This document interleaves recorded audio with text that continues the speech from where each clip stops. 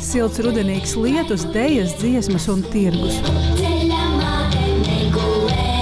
Miķeļdienas gada tirgus uz vecrīgu no malu malām atvedis amatniekus, zemniekus, lauksaimniekus un mairažotājus.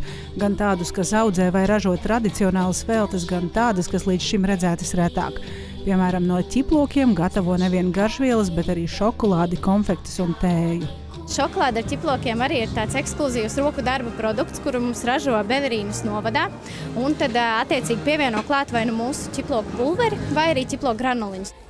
Sāls pavasarī vēlāk ilgstošs sausums. Tādi laikapstākļi šogad patikuši sīpoliem, mazāk ķirbjiem un kabačiem lauberes pusē. Un tomēr raža esot pietiekami laba.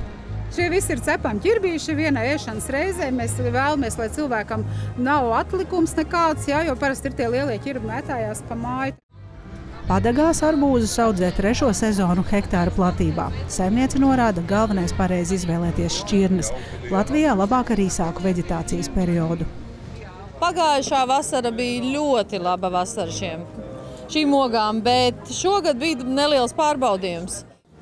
Bet tad, kad nāca lielās lietavas, tad viņiem šis mitrums bija pa daudz.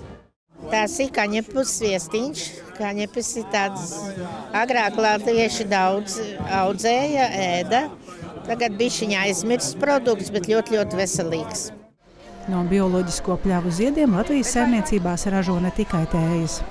Šis bija sākums tiešām 30 gadus atpakaļ. Pēc tam sākās ar vienu sejas krēmu, un tad jau apaugām ar jau visādām lietām.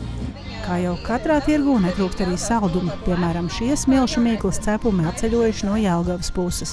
Neviens nav pēc apdauda. Tas ir īsts roku darbs, sākot no mīkliņas, no glazūriņas, no idejas līdz izpildījumam. Savukārt piparkūku cepēju klātbūtne atgādina, ka drīz jau Ziemassvētki.